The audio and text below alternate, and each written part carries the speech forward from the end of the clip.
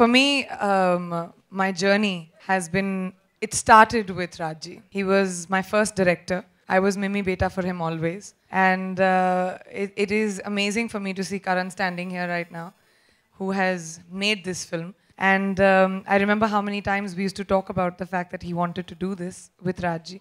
और यहाँ पे आज खड़े होके इस टीम के साथ ये ट्रेलर देखकर जहाँ पे सब वंस मोर वंस मोर कह रहे हैं uh, मैं सबको मुबारकबाद देना चाहूँगी कि um, इतना अच्छा ट्रेलर बना है और आई होप कि ये फ़िल्म आगे जाके तुम्हें उसी बुलंद उन्हीं बुलंदियों तक लेकर जाए जहाँ तक तुम्हारे पापा थे।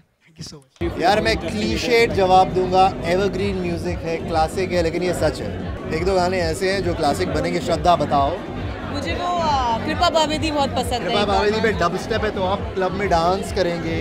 और, और जी ने गाया वो गाना मुझे बहुत पसंद है तुम्बा।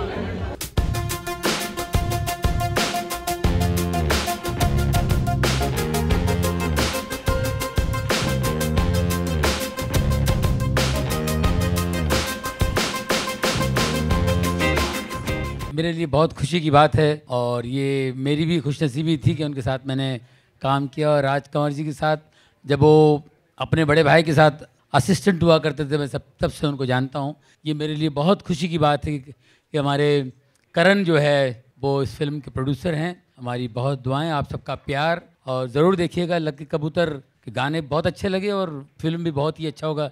इतने अच्छे अच्छे लोगों ने बस आपके वो उस पर ही लोगों ने तालियाँ बजाई।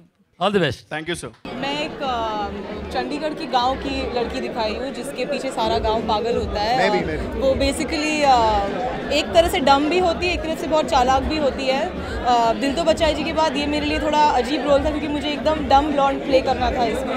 सो so, वो क्या अगर आपको टेंशन है और टेंशन से को दूर करना चाहते हैं तो प्लीज़ मेरी फ़िल्म देखने, लकी कपूर देखने आइए। क्योंकि इस फ़िल्म के अंदर सिर्फ़ एंटरटेनमेंट है। क्योंकि फ़िल्म में तीन चीज़ों चलती है एंटरटेनमेंट एंटरटेनमेंट एंड सिर्फ़ एंटरटेनमेंट और लकी कबूतर सिर्फ़ एंटरटेनमेंट है और कुछ नहीं।